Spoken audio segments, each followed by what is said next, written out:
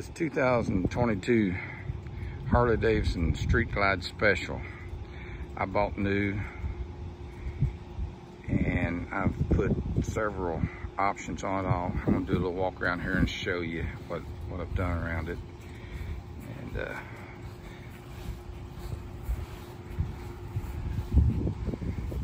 see the tad bite pipes and lights that I've put on it. It also has underglow lighting on it.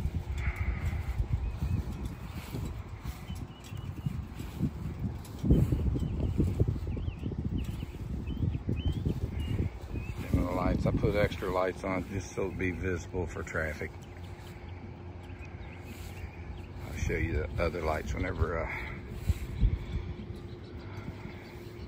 get it started here anyway it has 9,806 miles on it. I put them all on it myself.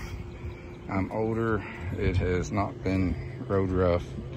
There's not a scratch on it that I know of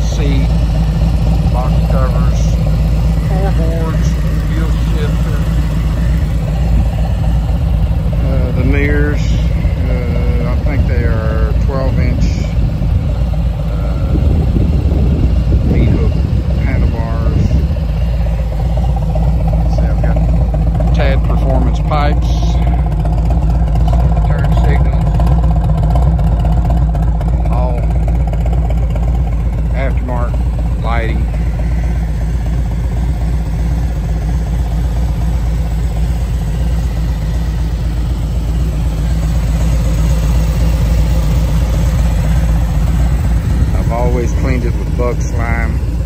Uh, has not hardly been in a shower rain at all.